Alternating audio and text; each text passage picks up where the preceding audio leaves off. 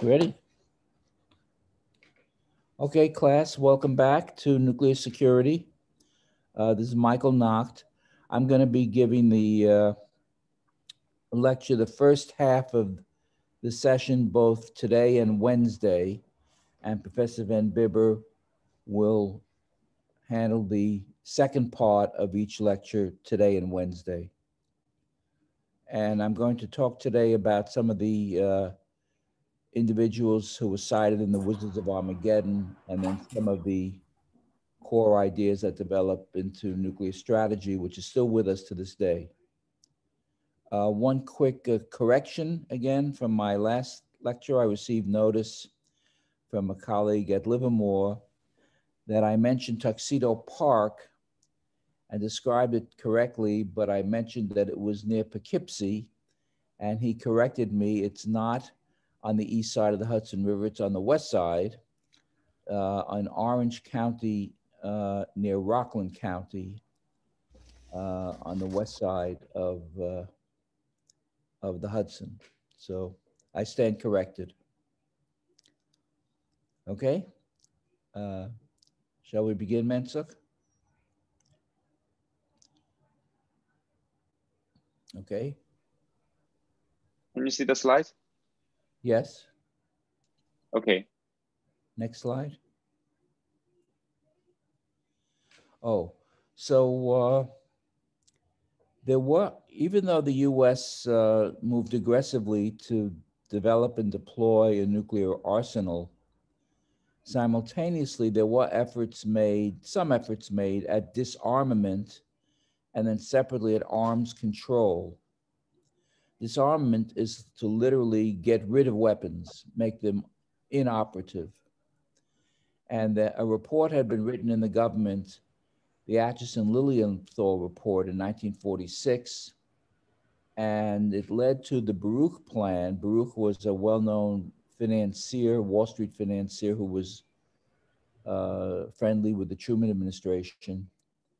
And the Baruch Plan was formally presented by Bernard Baruch to the United Nations, calling for the uh, end of sovereign control of nuclear weapons and that they would all be under international control. This is at a time when only the United States had the weapons, 1947. However, uh, the Soviet Union felt that since the Americans had already developed the weapons, they would still have the knowledge of it. And uh, this would put the Soviets at a disadvantage. So they vetoed the Baruch Plan in the Security Council of the United Nations. So this is the first failed effort at nuclear disarmament in the nuclear age. There were some uh, successful measures, most important of which was the Antarctic Treaty, which banned nuclear weapon deployments in Antarctica. Uh, that was done in the late 50s. But more significantly was a very important meeting that was held in Cambridge, Mass on trying to understand the meaning of arms control, which led in 1960, which led to the uh, publication of an important book, Strategy in Arms Control. It's a short book, still worth reading to this day, by Tom Schelling, who, of course, is the uh, author of uh, Arms and Influence and the Strategy of Conflict and won the Nobel Prize in Economics in 2005. And at that time, a young analyst named Mort Halperin. And they wrote a book, Strategy and Arms Control, in which they uh, brought forth the first articulated definition of arms control, which was in contrast to disarmament, which is to get rid of the weapons, Arms control is much more broadly conceived as any measure that reduces the likelihood of war, the damage should war occur, or budgetary support for the preparation of war is arms control. And this is important because it was later read by uh, McNamara, who became Secretary of Defense under Kennedy, and who used it to further the arms control agenda to some degree in the Kennedy and Johnson years. The uh, most significant arms control measures uh, related to testing. And the Nuclear Test Ban Treaty, I'm sorry, the, the, the, the Limited Test Ban Treaty, the LTBT, was signed initially by the Soviet Union, the United States, and the United Kingdom in 1963. And this limited nuclear testing to only underground testing. All other testing, testing above ground, testing on the sea, under the sea, in the air, and in space was prohibited. Uh, Kennedy was keen on this because he was very concerned that the Cuban Missile Crisis could have gotten out of control and brought on nuclear war, and he wanted to do something about limiting the arsenals. Of course, 1963 was the year the treaty was completed, but it was also the year that Kennedy was assassinated. So he didn't have a chance to further uh, the arms control agenda. On the testing front, just to follow along that sequence for a minute, it was followed uh, 11 years later by the Threshold Test Ban Treaty. This was 1974 when Ford was president, having just replaced Nixon, who had resigned. And the Threshold Test Ban Treaty limited the yield of weapons tested underground to 150 kilotons. And uh, oh, I should add that one reason that they were able to get the underground test limits of the threat of the limited test ban approved was that uh, Kennedy was concerned whether the Joint Chiefs would actually support the ratification of that treaty in Senate ratification. And the military agreed to do it because they became convinced that we could still advance the modernization of our weapons just with underground testing. So in words, this was not this was not just the military saying, well, let's give up on nuclear weapons, let's be peaceful. No, it was we could have this political achievement of having a limited test ban, but still modernize the weapons with underground testing. So 74 was the threshold test ban that was under Ford. And then in 1996, under Clinton, the Comprehensive Test Ban Treaty was signed by the United States. It was signed, but it was never ratified. I was leaving government at the time in 1998, and uh, Clinton appointed then Senator Biden, Joe Biden, now the president, uh, to orchestrate the ratification of the Senate for the comprehensive test ban, but it failed terribly. You know, you need two thirds vote of president and sitting members of the Senate. So if there are 100 sitting members, that would be 67 senators would have to vote to approve the ratification.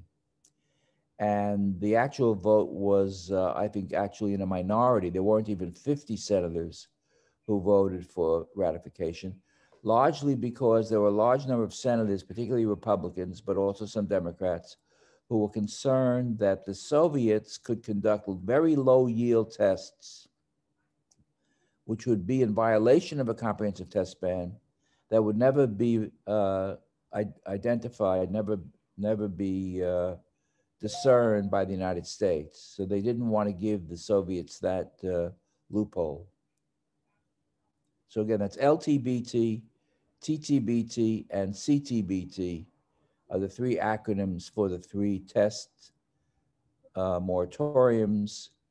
The first and the second were ratified and implemented. The third has been signed by most countries, but never ratified by the United States. The United States is not a member of the Comprehensive Test Ban. I should say later on, years later, I was in the Obama administration and we took a hard look at again the desire for comprehensive test ban since obviously President Obama was very supportive of it. And Obama became convinced that there was no way there'd be enough Senate support to ratify the treaty. So it was never ratified. Also, another item uh, on the arms control agenda was the Outer Space Treaty, which uh, prohibited nuclear weapon deployment in outer space. That was done in 1967. So there were efforts at uh, arms control and disarm, but it's a spotty record uh, at best. Continue. Now, then we got into more significant arms control in the 70s. Nixon was president. And by the way, there's one uh, sort of interesting uh, political issue here. The Republicans generally are not supportive of arms control unless there's a Republican president. They're opposed to arms control when there's a Democratic president. The Democrats tend to be supportive of arms control, whoever is president. In 1972, the SALT One in, SALT One Treaty was signed, an interim offensive agreement, and the ABM Treaty.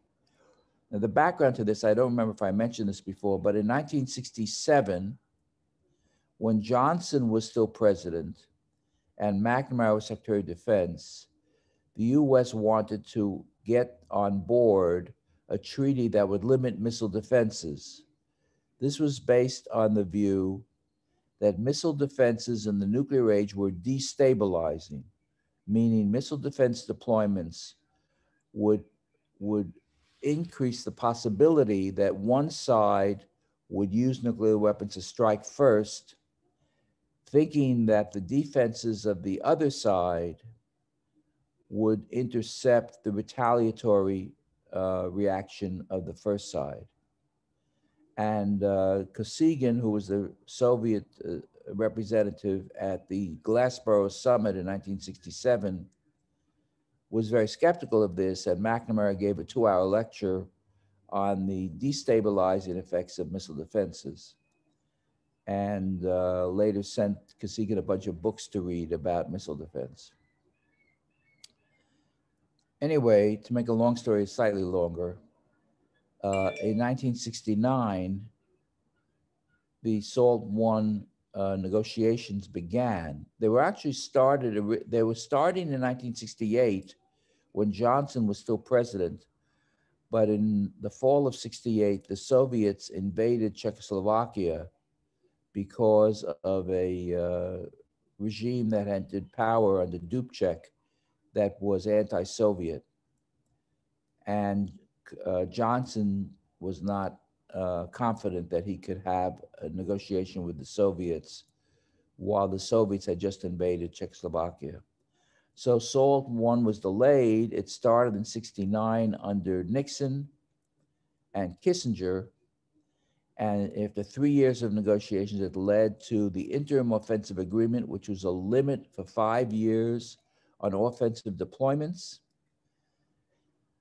and more importantly, the ABM Treaty, the Anti Ballistic Missile Treaty, which limited defenses to just two sites on each side. Uh, this is, of course, a bilateral treaty, US Soviet treaty. The British and others were not involved. Bilateral treaty, US Soviet treaty.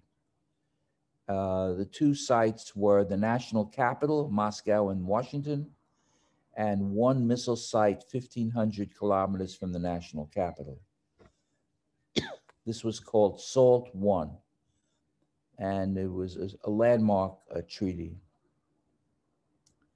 It was during this time that Kissinger observed, in some ways, that arms control is not about arms control. What he meant by that was this is not just literally about the limitation of weapons, but it's to change the whole political relationship between the US and the Soviet Union, which he which Kissinger hoped would open up economic ties between the two countries. Remember, the Soviets were completely isolated from the West on economic intercourse at this time.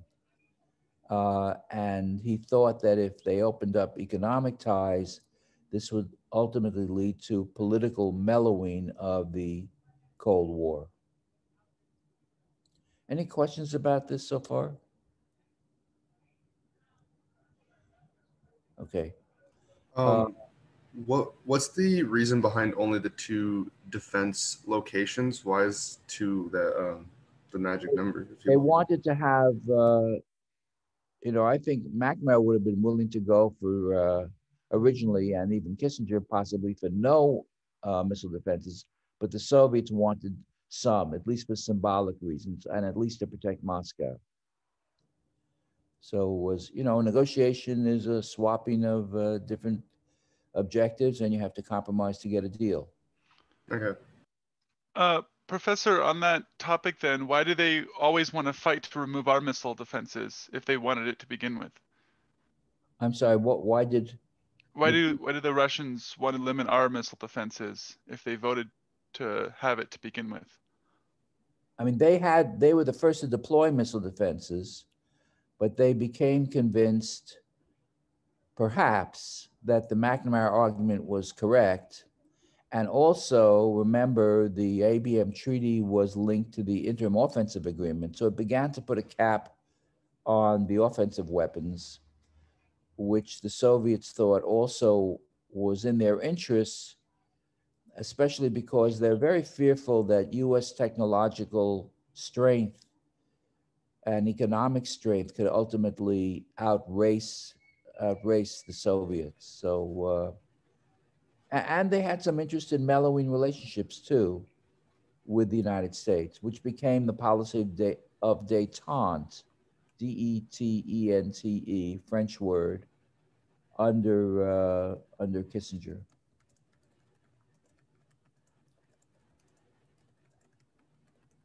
Um, There is a, Professor Nacht, yes. uh, there is a question. Anthony, go ahead. Um, yes, hi, Professor. Uh, Just a quick question. For these like armed treaties, the uh, all the, the weapons that uh, the either the ballistic or the uh, the other missiles are uh, are land-based and sea-based. Are we considering like the uh, the air-based one also including that section? Yes. Yes, interim offensive agreement included all legs of the triad. So basically, there's no way that you can transfer, like for example, transfer the missile to bomb to actually uh, kind of uh, pull this agreement. And there were limits on each of the elements. Uh, so no, I mean, you couldn't fool around a lot with transferring weapons from one leg of the triad to the other. Thank you so much. Yeah. Of course, uh, uh, Ford lost the 76 election to Carter. Carter came in, he was supportive of arms control. And in 1979, the next round of arms control produced SALT II.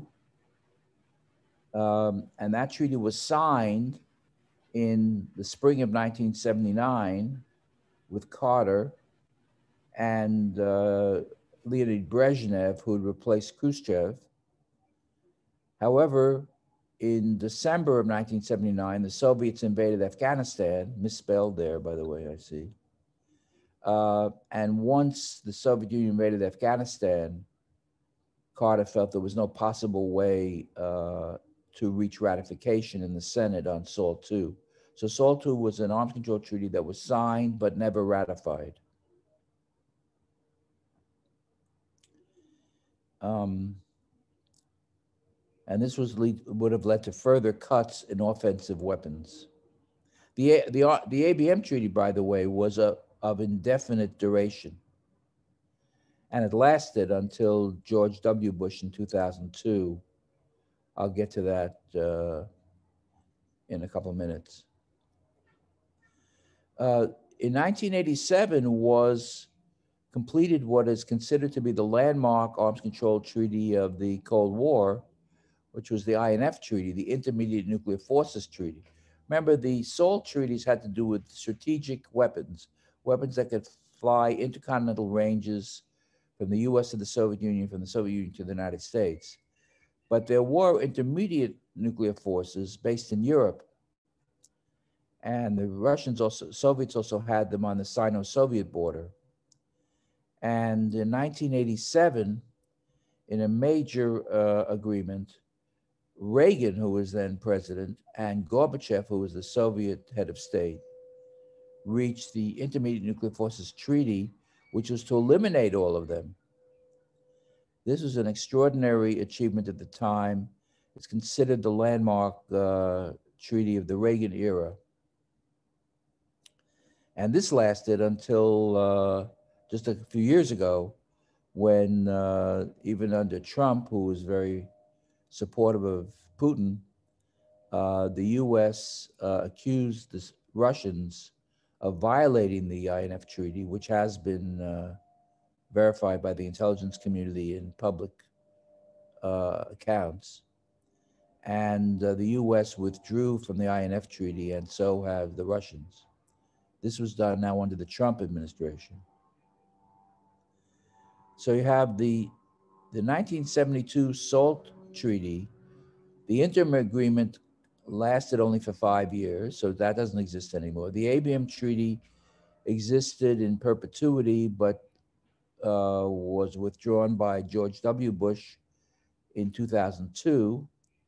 The 79 SALT II Treaty never was ratified. The INF Treaty was ratified, but then uh, the US withdrew in the Trump administration. And that leaves a couple of others. In 1991, after George H.W. Bush replaced Reagan, he was able to complete the first START treaty, START 1. SALT was strategic arms limitation talks, START is strategic arms reduction talks. This was to actually lower the numbers. That was completed in 1991. And then a second treaty by George H.W. Bush in 1993 further reduced the offensive arms of deployed strategic weapons. And that's where things stood until the Obama years. This is when I had an opportunity to serve in the Defense Department, and Obama uh, was able to complete with uh, Medvedev. Medvedev, for a short period under Obama, uh, was the new Russian president. There was a time when Putin couldn't run again, um, although Putin still controlled policy. And Obama and Medvedev reached the New START Treaty. So this is a New START Treaty, which is to replace START 1 START 2 and limit the number of deployed strategic nuclear weapons to 1,550 with 800 delivery vehicles on each side. That was a New START treaty. It was signed in 2009 and it entered into force. No, it, it was signed in 2010 and entered into force in 2011, February 2011, for 10 years. Well, 10 years after 2011 is right now, February 2021. And uh, just since Biden has come into office, he had a phone conversation with uh, Putin. This followed up earlier discussions between Putin and Trump about extension of New START. There is a uh, clause in New START that calls for a five year extension of New START if both sides agree. And just last week, uh, the US and Russia agree to the five year extension. So the five year extension of New START takes us, uh, if it stays in effect, until February, February 5th, 2026. So that is the key strategic arms agreement that still is in effect today the New START treaty extended to 2026. All the others have disappeared. Okay? Now, here are some more details about the, the treaties. Uh, the interim agreement, we can go over some of this more quickly because they're not in, in uh, they're not actively uh, in agreement anymore. The SALT One agreement that had Nixon and Brezhnev signing the treaty in May 72 in Moscow It was a five year agreement to freeze of ICBMs. And the Soviets had a slight numerical advantage in SLB, in ICBMs. That, that point number two was greatly debated by, in the Senate, Senator Jackson, Washington State, later a presidential candidate, was deeply opposed to having given the Soviets this edge of 1600 to 1000 in ICBMs and said that all future agreements had to have numerical equality. And on the SLBM front, the US had 700 SLBM launchers on 44 subs. The Soviets had 950 launchers. Okay, that's that one. Move along. The ABM treaty, each party limited to two ABM sites with 100 ABM interceptors each, one for the national capital, one for an ICBM field. It was in permanent duration until the US exercised its right to withdraw in June 2002 to deploy ABM systems that would defend targets against North Korea and Iranian offensive systems. And this allowed the US to deploy limited ABM systems in Alaska and California to defend US targets from limited Russian missile attack and also uh, to deploy uh, missile defenses in, uh, in Europe to defend against Iranian missiles because the Ira- Iranians were targeting NATO targets in Europe and uh, to deploy in uh, South Korea and or Japan to defend against North Korean missiles. But this, this again, this treaty uh, ceased to exist in June of 2002. Next. There's Kissinger talking about arms control, it's not about arms control. The SALT II Treaty, June 79, that's Carter and Brezhnev standing, uh, sitting there, uh, signing numerical equality of number of nuclear delivery vehicles, limiting the number of deployed MIRVed missiles. By this time, we had multiple independently targetable reentry vehicles, but again, not ratified because of the Soviet invasion of Afghanistan, as I mentioned in December 79. Next. Here's the INF Treaty. We're just giving you a little more detail in each of these treaties. That's the Reagan Gorbachev Treaty, prohibited short range and intermediate range ballistic and ground launched cruise missiles with a range between 500 and 5,500 kilometers. The Russians tested and then deployed a ground launched cruise missile with a range of 2,500 kilometers in 2017. That's a violation of the treaty. US, after multiple warnings, withdrew in August uh, so that's a year and a half ago. Start one and start two. Start one, 1991, limited 6,000 nuclear warheads deployed on 1,600 ICBMs, which is a removal of 80% of all deployed strategic nuclear weapons. And in 1993, remember, uh, going back to the INF, at the peak of the Cold War, the US had 8,000 intermediate range weapons in Europe. Uh, and this was to get that INF treaty was to get rid of all of them. So that was that is literally disarmament. In 1993, just before George H.W. Bush left office, he, he completed the START II treaty, which banned use of MIRVed ICBMs. It was ratified by the US in 1996. Russians ratified it in 2000, but then uh, they withdrew after the US withdrew from the ABM treaty. So none of these treaties are still in operation. Go ahead. There's New Start, Obama and Medvedev uh, signing the agreement in uh, April 2010 in Prague and uh, ratified, entered into force February 2011. And Biden and Putin have agreed on the extension to February 2026. New START followed up START 1, limiting the number of deployed weapons to 1550, number of deployed launchers to 800. Okay. Should get familiar with these numbers just so you're in the ballpark, you know roughly what was agreed to. More? Uh,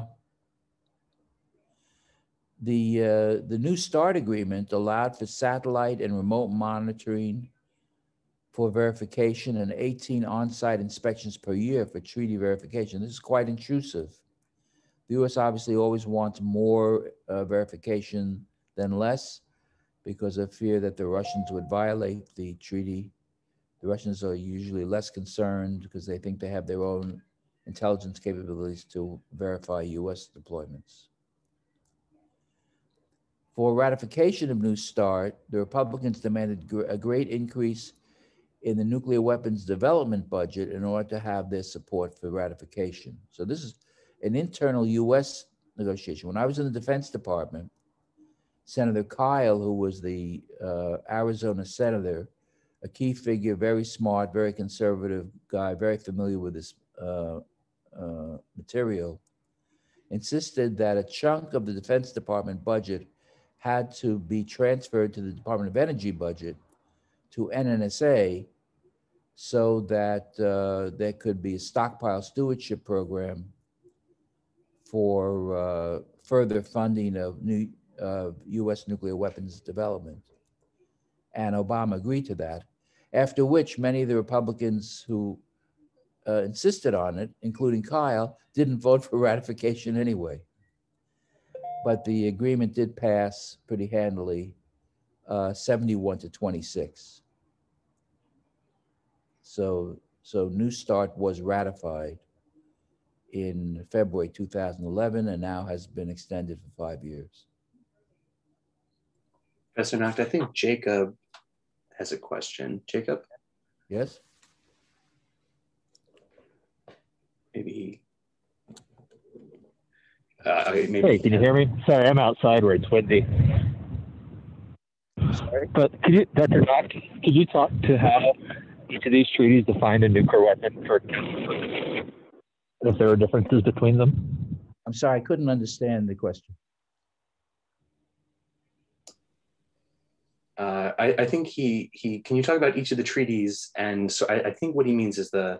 Can you go through each of the treaties and sort of go through the different uh, limits on the on sort of what was limited the counting for each one of them? So can you hear me better now? Actually, sorry, Yeah. I was getting out getting out of the wind. So this is Jacob Stinnett from WANL. Can you talk to how these different treaties defined a nuclear weapon in terms of or for counting purposes? Yes, I mean, you know, it's essentially you have warheads on board missiles. The missiles are called delivery vehicles. The warheads are the bombs. And uh, the, the key one that's still left, the New START Treaty, is 1,550 bombs on board 800 delivery vehicles with a mixture of the weapons, some on ICBMs, some on SLBMs, and some on long range bombers. Although I'll tell you, actually, it was never uh, totally clarified about the number of bombs carried on a bomber. Uh, each uh, bomber was uh, allo- allocated just one bomb, when of course bombers can carry many bombs. But this was somewhat ameliorated by the verification and on-site inspection uh, elements of the treaty. Now, actually, another little uh, footnote here.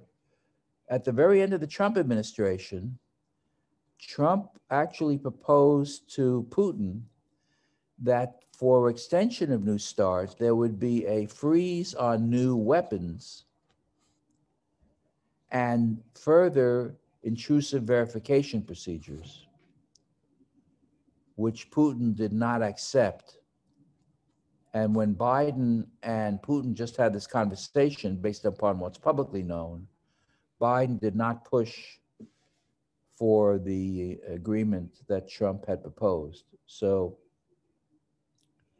the New START Treaty has been extended without any further provisions to limit warhead deployment or to uh, increase verification techniques.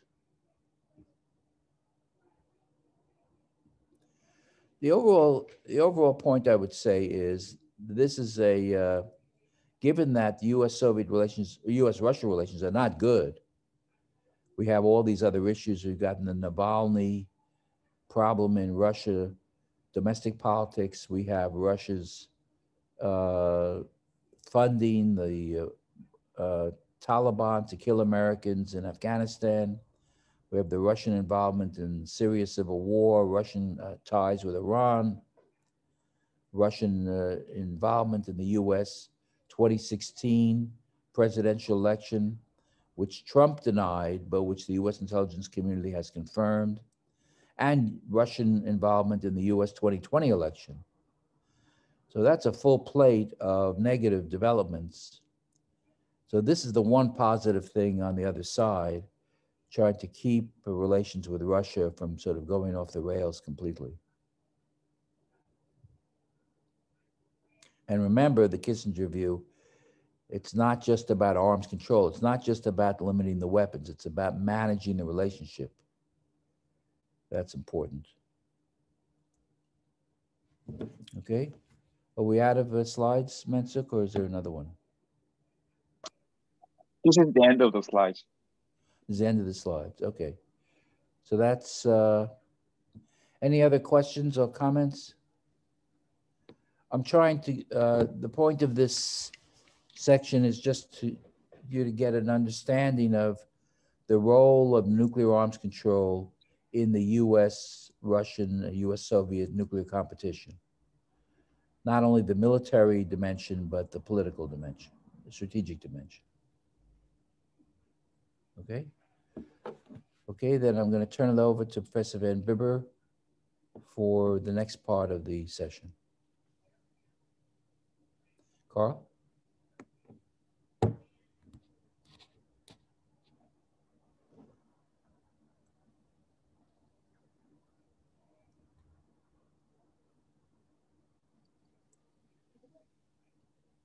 Aaron, is Dr. Van Bibber there? I think he's he's here now,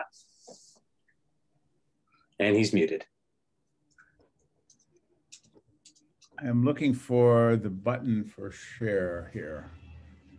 Hold on. Oh, do you have to make, am I a co-host there, Aaron? Uh, I, you Yes, are you you, are. you You- are indeed a yes, co-host. uh, Yeah, you can share the slide. Ah, okay, here we are. Okay, there we are. Okay, uh, after 11 months, I'm still fumbling here. Okay, um, good. I'm going to share the screen. And today, what we're going to do, good. And I'm going to go to full screen and you can see, um, great. Um, you can see the title slide here. Let's pick up where we left off, do a quick reprise. Uh, we talked about the history uh, of um, uh, fission in uh, the discovery in December of 1938, um, just five years after uh, Rutherford's uh, unbelievable comment about anyone expecting useful uh, energy to derive from nuclear reactions is talking moonshine. Um, uh, the evidence from uh, the, this uh, nuclear chemistry techniques that they used.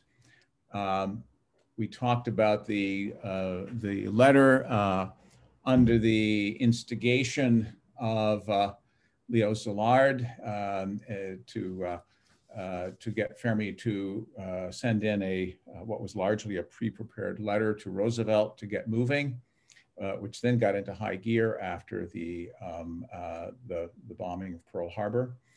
Now, I think we left off ab about this point, so let me pick up right here. Here is Alfred Nier, son of German immigrants, um, grew up in Minnesota.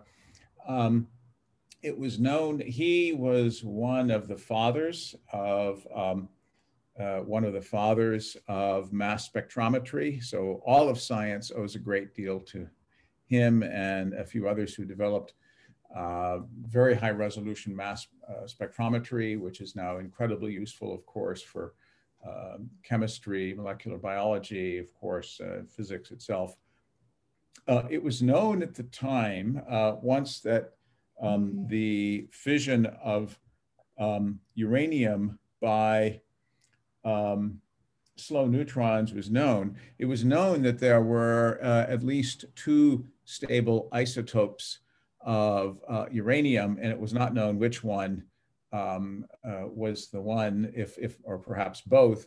And so it was suggested um, that uh, uh, that Nier uh, separate a very, very small quantity of, uh, of uh, uranium into 238 and 235, uh, 238 being 99.3% uh, and 235 being 0.7%, very subdominant, um, and send it to John Dunning at Columbia, um, who could then produce neutrons, moderate them, slow them down, and then uh, have them impinge on uh, the uh, uh on the uranium uh, targets, and then see which of these led to um, fission.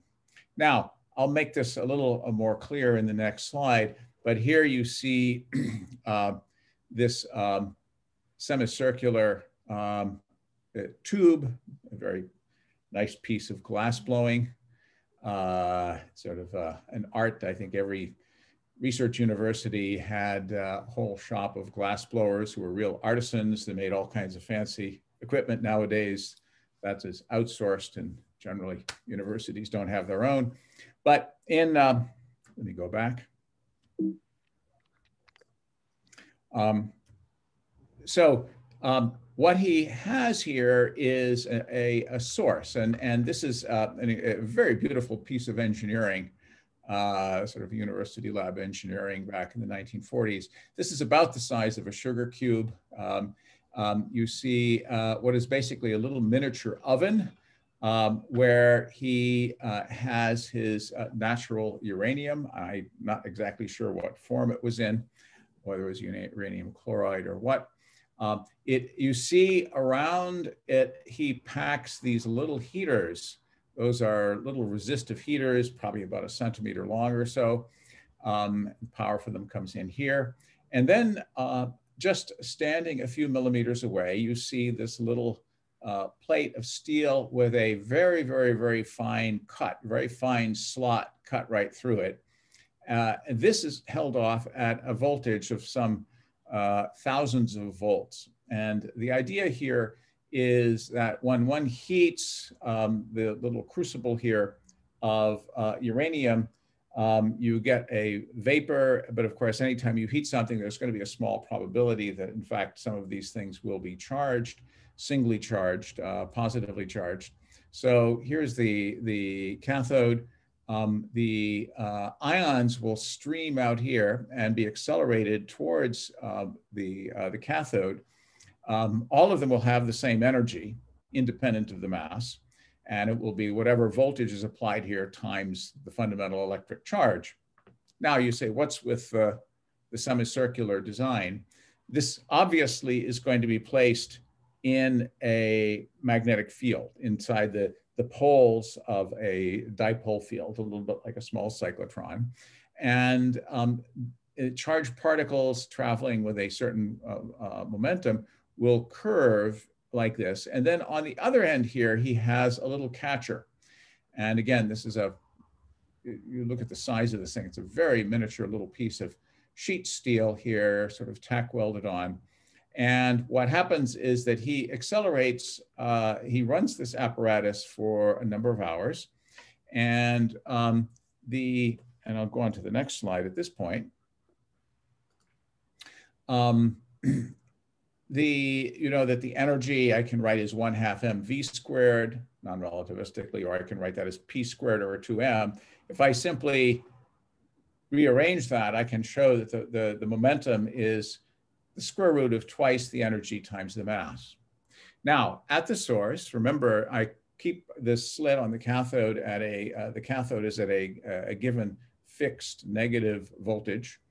Um, and uh, I heat this, uh, you get a small number of these uh, uranium ions are charged. They'll uh, be accelerated up uh, independent of whether they're 235 or 238. They'll, they'll be at something like, for example, 10,000 uh, volts energy. Um, and here, what it shows, shows you is that a smaller mass will have a smaller momentum, a larger mass will have a larger momentum.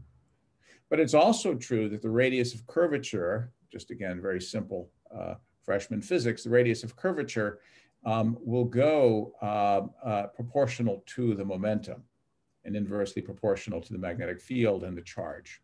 Twice the magnetic field, twice a tight circle there. Uh, the, the, the, the, radius of the circle will go down. But for a fixed radius, um, uh, uh, or, or, or, the, uh, uh, for a uh, fixed field, the radius will go like the momentum divided by the field and the charge. So a smaller mass will have a smaller radius, larger mass, larger radius. And you can see what happens is that the, these, the 238 will take the outside uh, kind of uh, lane, and the, and the uranium will fly, will take the inside lane there. And what happened after a number of uh, hours of irradiation is that this little foil had two very small uh, lines that look like stains on the uranium. And then he mailed this to Dunning at Columbia. Uh, Dunning uh, cut the thing in half and then sequentially put the two in uh, to the cyclotron with the moderator, made, made neutrons, moderated them. 235, 238, nothing, 235, the whopping signals seen in the, uh, uh, you know, from the fission fragments in a, in a uh, uh, Geiger-Muller tube. And so it was determined uh, that the smaller species, or the, the, the minority species, was the one that was fissionable by slow neutrons just some local history here while we're talking uh, the uh, the war stories here. Um, we had a when I was chair of the department uh, from 2012 to 2018.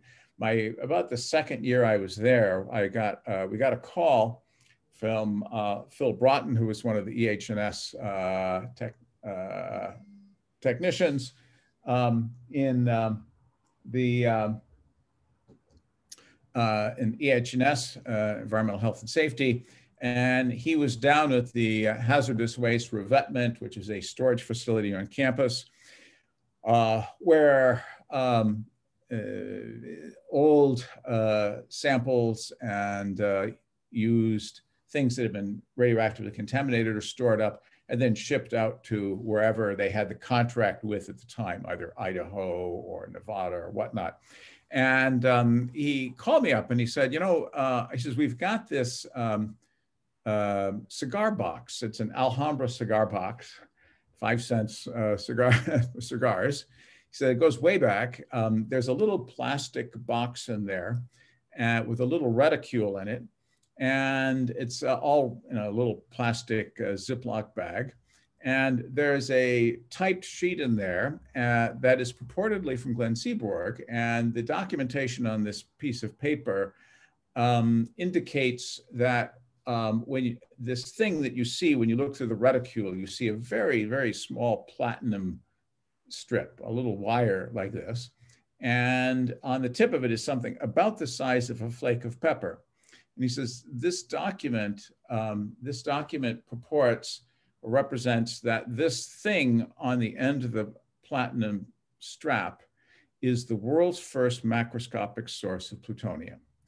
Um, and he said, um, you know, it was known that Seaborg tended to store things that he wanted to keep in Alhambra cigar boxes. So we, we would tend to agree that this is uh, probably the real McCoy. Would you like it or should we throw it out? How should we dispose of it? And I said, hold on, give us the box. So he, he brought us the box up to our nuclear lab. We looked at it and I, I convened a, um, uh, a group of our faculty to decide what we should do with it. Should we try to do uh, an invasive measurement, i.e pry open or break open this glued together lucite box? Uh, could one do passive spectroscopy? So Rick Norman, uh, a summer student and a, um, uh, sort of a, a, research associate that he had, said, look, we can do this with, with X-ray and gamma ray spectroscopy. And sure enough, um, after they looked at the spectral spectrum lines coming out of this thing, they said this thing is consistent with aged plutonium that um, uh, is approximately, uh, at that time, it was uh, 70 uh, some years old. And they estimated that the, um, the, the, the, uh, the mass of the spectrum that they were measuring, since these were very well calibrated germanium detectors, uh, was 2.3 plus or minus 0.4 micrograms of plutonium oxide, plutonium 239. And sure enough, that was bang on what, what was represented in the, uh, the little type sheet. And um, so um, we were a little afraid of the, of the publicity about this thing. Um, but he published it in a scholarly journal. Next thing you know, the reporters were all over this thing, and it, it created a, a blizzard of very positive news around the world. And so we put it on the main Berkeley website, you know, the Berkeley University uh, website there, uh, and it, it, attracted a lot of very positive news. The plutonium, the world's first plutonium that was created by Seaborg, um, was uh, uh is actually in the Smithsonian. It's on a little foil. It is a microscopic source. Um, you can just see a little bit of a stain uh, there on it. This is the first uh, amount that was actually separated. So in the summer of 1942, uh, Seaborg, who I think was just recently married at the time, he has a kept a logbook, uh, which is basically a, a sort of interwoven life, his own life story plus all his scientific uh, doings. Um, and um, you know, he knew he was going to be a man of history, so he recorded everything that he did and um, he uh, the the sort of the high intensity production uh, was done both at the Berkeley cyclotron and at the Washington um, University cyclotron in St. Louis um, uh, in 1941, and in 1942. Um, he goes by train to Chicago to what's what was called the Met Lab. I think it was named after Jones. It was called the Jones Met Lab and he convened the best chemists in the in the, the free world and mostly uh, you know, the American chemists. And in the space of a few months, they took a, a tiny sample.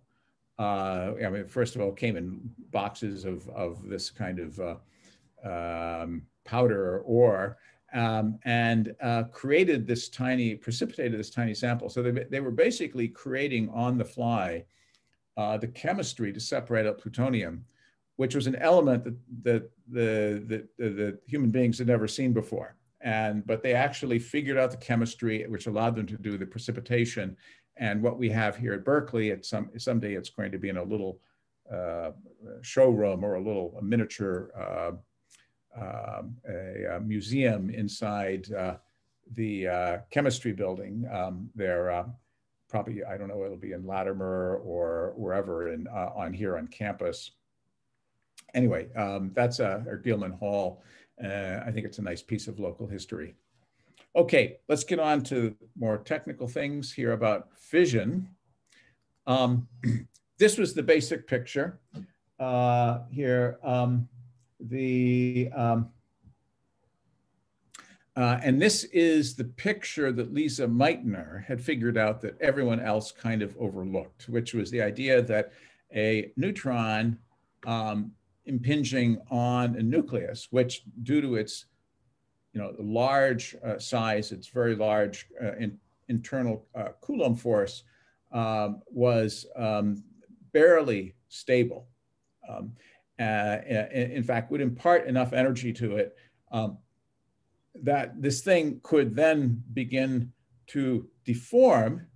Once it begins to deform, um, and then you start getting kind of like two separated centers of, uh, of, of the, uh, you know, two things that begin to look like fragments, the Coulomb repulsion would, would pull this thing apart, think of it a little bit like taffy, snap, and then you would have this, this uh, enormous release of energy as this thing skied down the kind of the Coulomb potential hill releasing um, a great deal of energy. In doing so, fission fulfilled the, um, uh, the condition that Szilard had imagined and actually created a patent on, even though he had no idea what reaction would do it, of a reaction induced by a neutron that itself would produce multiple neutrons, which would lead to uh, kind of an exponential um, uh, release of energy. So that's the picture.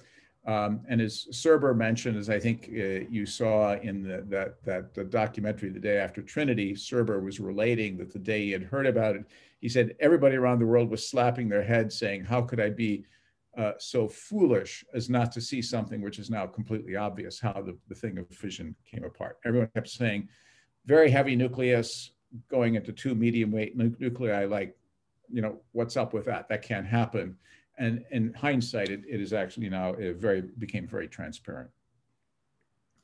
Okay, um, just to again reinforce um, um, the uh, what we've mentioned before. Um, here, I'm just expanding the top part of the uh, curve of binding energy. Uh, ah, there we are.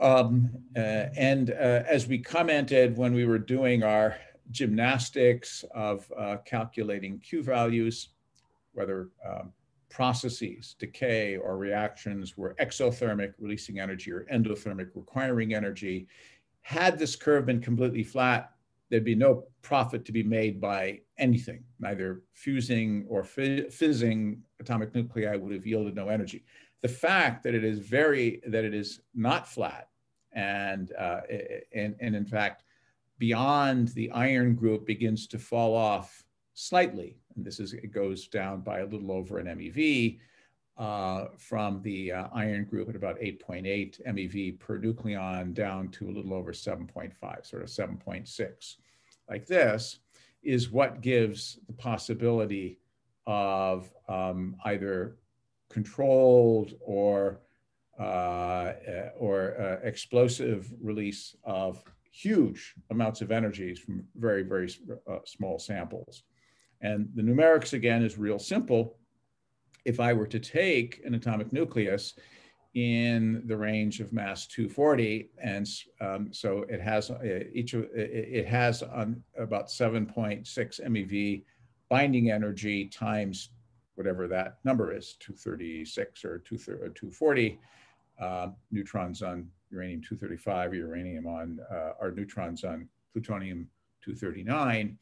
Um, the, by splitting it in half, I now have two nuclei which are more tightly bound by one MeV per nucleon, not one MeV, but one MeV times 240. So this is um, a a great deal of uh, energy that is, uh, that is possible uh, to release. Okay. Now, how is this energy partitioned? Well, the actual number turns out to be, um, uh, uh, as we mentioned, around 200 MeV. It actually varies from event to event, uh, depending on the final products. Uh, the final products uh, are not always the same two nuclei that you they come out in a kind of a distribution. We'll talk about that in just a moment. Um, most of it is kinetic energy. And the thing to realize is that um, these very, very heavy uh, nuclei uh, are intrinsically unstable.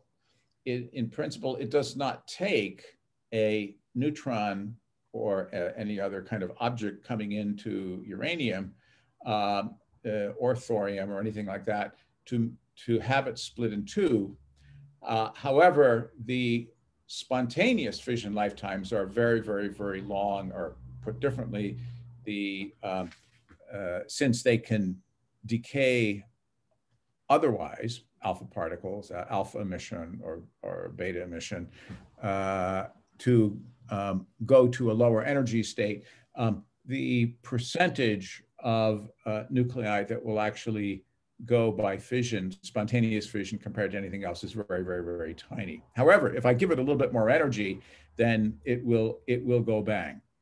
So um, about 80% of the energy is coming out in, uh, in the kinetic energy of these two large fragments the energy associated with the neutrons is not very great. It's, uh, but the interesting thing is that the neutron number uh, is there, and it's it's between two and three, depending on what species you're fissioning and uh, uh, what energy you're uh, coming in with. The, um, there are uh, gamma rays are emitted even in the process of, of fissioning while the thing is still a single unit uh, like that. You, you, this thing is still already a, a hot nucleus and it's picking up energy uh, as the thing is beginning to, uh, the, the, the, fragments are beginning to heat even as the, uh, the nucleus is um, deforming after the scission, um, you will get more gamma rays, another several MeV, about, about seven MeV on the average, um, as these uh, nuclei begin to um, beta decay uh, to excited states of daughters, which beta decay uh, to excited state of daughters, and so forth. The beta particles themselves um, represent uh, uh another several MeV, and then uh, you get about 10 MeV in neutrinos, which are scientifically interesting, but in fact are not at all useful um, in terms of um, um, their, uh, you know, their, their role in either a reactor or uh, a bomb. Now, uh, one of the people who may be coming to visit us um, in, um, uh, to give a talk in the technical lectures in the second half is Adam Bernstein uh, from some years ago at Sandia, now for many years at uh, Livermore, uh, who's one of the leaders of um, in the um, applied anti-neutrino community. Um, although it took uh, these ghostly particles took more than 20 years to detect after they were first predicted by Pauli, uh, they have now become a very interesting potential tool uh, for uh, reactor monitoring at great distances, simply because they can fly out of the core of the reactor um, uh, and can be seen up hun several hundred kilometers away. Physicists have actually done very interesting, uh, learned a great deal about neutrinos and their properties and the ability of neutrinos to oscillate from one flavor into another by looking at neutrinos very, very far away from the core of a, of a reactor.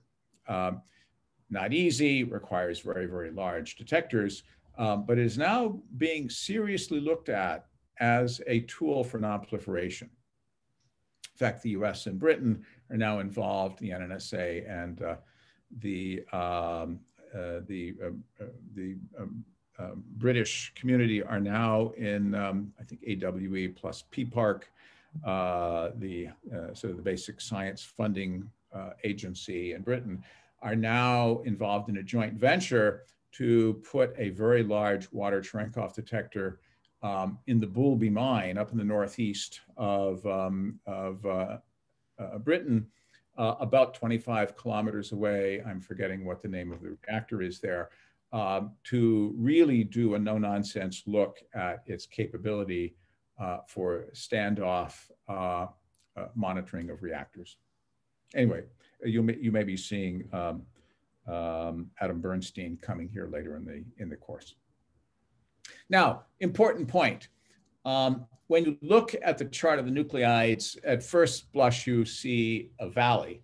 Now, if you look a little more closely and just say, just take kind of the 30,000 foot view of it, what's the second most obvious fact that you see um, about this chart? Let's see if we have any uh, clever. The valley of stability. The what? The valley of stability. Yes. Uh, and uh, yes, but if you just look at the whole thing, what else do you see about it? It's not a, a map. It kind of goes in a line up and to the right. What It kind of, leans to the neutron heavy side. it's what? It leans to the neutron uh, Yeah. rich side.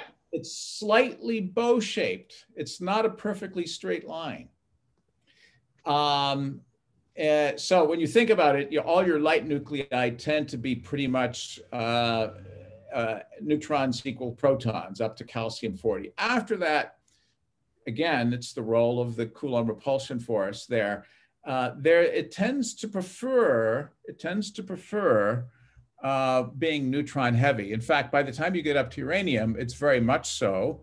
Um, uranium 238 is let's see, uh, 92, 146. So it's actually distinctly uranium, uh, neutron heavy, which means to say on the average, even though uh, in any given split, it can be any combination of neutrons and protons, so long as they total up uh, to the original mass.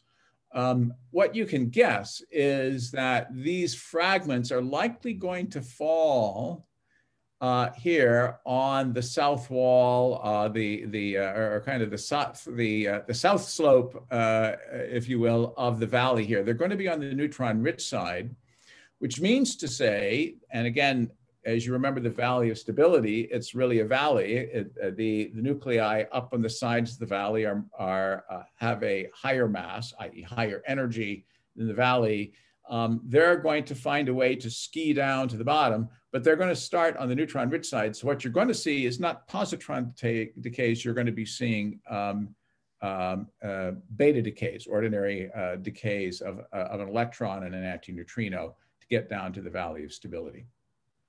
Something I didn't point out before, um, and we're not uh, not hugely germane here, but some of you, of course, are taking Lee Bernstein's course. You'll whoopsie daisy. Um, uh, when you look on the chart of the nuclides, you'll actually see some rows and some columns delineated by a double heavy line. And in some places, you'll actually find atomic nuclei, which are really at the intersection of the two. Um, just as in atomic physics, you have uh, what are called shell closures. You actually close, you actually fill up a quantum mechanical shell, and those atoms are particularly stable from a chemical point of view. So uh, helium, uh, sort of uh, uh, neon, uh, and so forth, like that, sort of krypton, xenon. Um, um, argon, of course, I missed argon. So helium and so forth in atomic nuclei, you have, since it again is a quantum mechanical system of spin and half particles, and therefore you fill up shells, there are places where you actually have gaps in energy, sort of shell closures. And those nuclei tend to be uh, exceptionally stable. Exceptionally stable means they're particularly well bound, i.e., going to be in lower, lower mass or lower energy. Um, and they, these shell closures uh, play a special role in dictating both structure and reactions. Um, anyway, um, good. So um, lead 208 uh, is in fact a, um, doubly closed. It's closed in protons and closed in neutrons. 182 um, protons, 126 neutrons. Calcium 40 is doubly closed. It's 20 and 20. Okay, good enough. Now, odd thing, uh, not terribly germane uh, or absolutely necessary to know in this course, but I think it's, it's an important fact to know about fission. Uh, you might say, well, you know, you split something in um, uh, of mass 240 in, in half. Uh, well, maybe they'll be around mass 120. Um, it, in fact, uh, there are hundreds uh, uh, of permutations of, of fission fragments that you can get. And the fission, for reasons you'll find out when you take, well, maybe undergraduate, certainly graduate nuclear physics, tends to split up asymmetrically. Go figure. Uh, typically, you're going to get a fragment in the mass 95 range and, and a fragment in the mass uh, 100 and 137 range. Uh, so you'll see things um, uh, like uh, uh, strontium and things of that mass. You'll also see things in the kind of the, the, um, the cesium barium uh, mass range as well. So, um, and in fact, symmetric for very low energy fission or for fission happening with slow neutrons, the, the probability that you get a really symmetric split is way down. It almost never happens. It's sort of at the percent level. Sort of at the 10% level, you get a very typical, you know, 95, 135 type uh, split. Here on this graph, it actually shows you what happens uh, once you, the primary fission fragment uh, is emitted within anywhere from milliseconds to seconds, um, this thing begins to beta decay down. Here you have uh, xenon 140, 14 second half-life to cesium, 64 second. Uh, barium lives for about 13 days, lanthanum 140, 40, uh, 40 hours, and then and into uh, cerium, which is stable. Okay. I think I have here, ah, from, from the point of view of uh, environmental and health um, ramifications of fission fragment, fragments, okay, um, it, you, fission produces a, a vast array of um, isotopes um, of varying half-lives and activities. And for obvious reasons, the short ones you don't have to worry about. Um, once you, you know, if the half-life uh, of something is um, 10 seconds, uh, if you wait um, uh, 10 half-lives, uh, one half to the 10th power is uh, uh, uh, about one and is it's down by a factor of a thousand. It's 1024 like that. If you wait 20 half lives, you're down by a million. So short half life species um, uh, are you just wait them out. In fact, you don't have to wait very long and they're gone. The very long ones also you don't need to worry about because if it doesn't, if the half-life is very long, then very few, if I take a sample of, of material, radioactive material, things which have a very, very long half-life, you don't worry about because it doesn't happen anyway. It's the ones in the middle you got to worry about. You particularly want to worry about the things um, that are uh, sort of uh, comparable to uh, sort of a, a human lifespan, i.e., something that's sort of generational in time up to tens or hundreds of generations. Being responsible people, we worry about burying nuclear waste uh, out to the time frame of um, you know uh, some uh, uh, uh thousands or tens of thousands or millions of years. I think courts have opined that. Uh, that the, the, the, the, the country should be responsible uh, for consequences going out something like a million years, which I think is beginning to border on the silly. But um, in any case, uh, for some, such a, a, long time. But when you have fission products like cesium-137 that you hear about uh, 30 years, strontium-90 is uh, 29 years like this, those are the, the guys uh, that you need to worry about. In fact, when I was growing up, um, uh, all parents were worried about the uptake uh, when we were still doing above ground nuclear testing about the um, uptake of fission products that were being spread invisibly around the world and then raining out. Um, you could actually see measurable amounts of these things in rainwater. It was showing up in crops. Crops are being by cows. Children are drinking milk and everyone was worrying about the effects of uh, strontium showing up in children's bones. Um, now, I think uh, unless you were very close to the primary event, that tends not to be something you you worry about too much. But look at the half-life; it is really very comparable. You know, you even several half-lives out, two, three, four half-lives out, you're still within a human uh, time, uh, human individual human uh, time frame there this is a um, I, I, uh, I'm always embarrassed by looking at some of the uh, the crosscuts or the uh, isotones uh, uh, because uh, when you look at a simple liquid drop model, as you'll see from Lee Bernstein, um, it's predicted to be a parabola. Sometimes they look like, you know, V-shaped or otherwise erratic, but this is kind of a picture perfect. This is something suitable for framing. Here's the mass 137 and it's a very, very beautifully parabolic uh, crosscut. Uh, if I uh, take A equals 137, crosscut to the valley of stability. Here's the neutron rich side here. Um, here you see uh, tin 137. Um, and uh, here you see the, um, the beta, the Q beta is 10.2 MeV.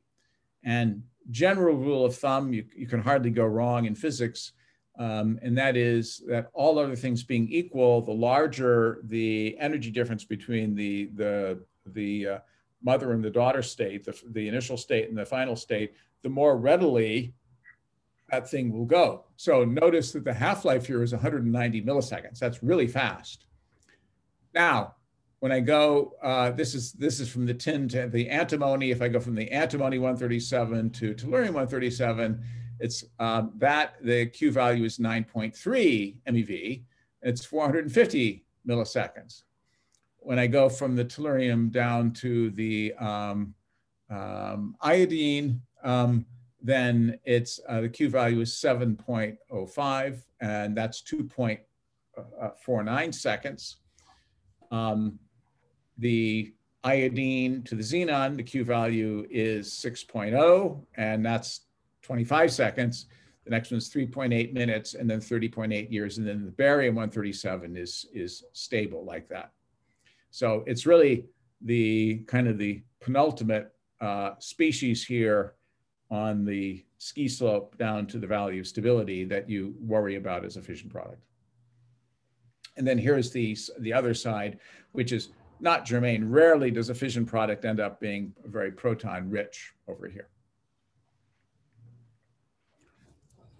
Okay, I think we're doing fine. Let's just watch a short, um, there's lots of, as I mentioned, there's lots and lots of very good um, science on YouTube. There are notes available on the website.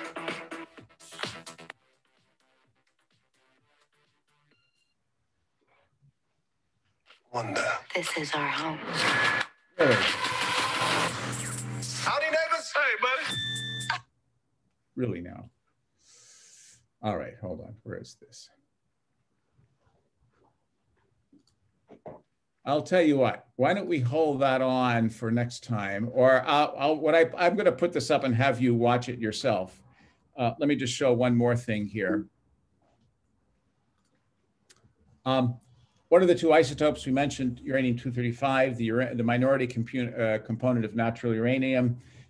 It's there. It's in the ground. It's in, uh, you know, it's in uh, the parts per million, few parts per million of the construction materials of the apartment building you're living in or your house or the ground around you. You just have to dredge it up and do the hard work of separating it. Plutonium needs to be cooked. It needs to be created in a reactor as a byproduct of uranium reactors.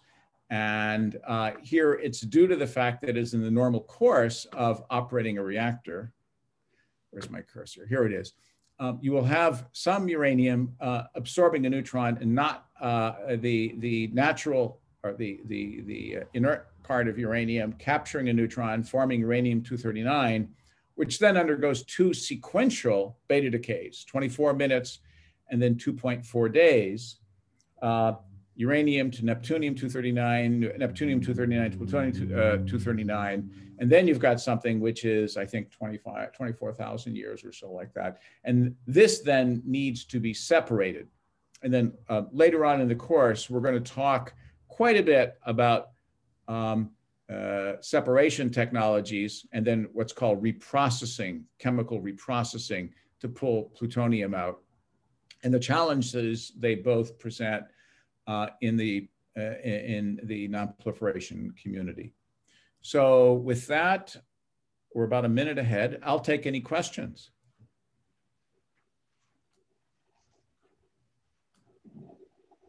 Okay.